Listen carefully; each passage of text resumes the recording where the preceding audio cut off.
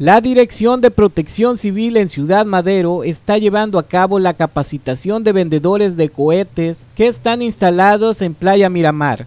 Esto para que sepan qué hacer en un debido caso de emergencia, enseñándolos a utilizar extintores y que sepan sobre los primeros auxilios. Así lo mencionó Miguel Ángel Valdés Reyes, encargado de esta dependencia municipal.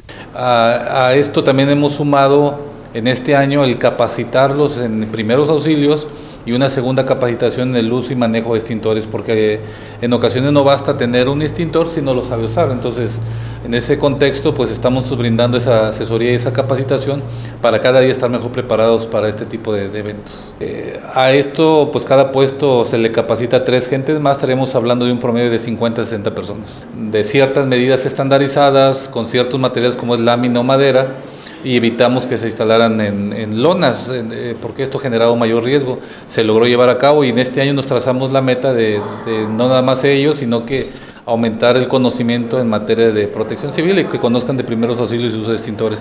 Y esa es la capacitación que hoy se está dando.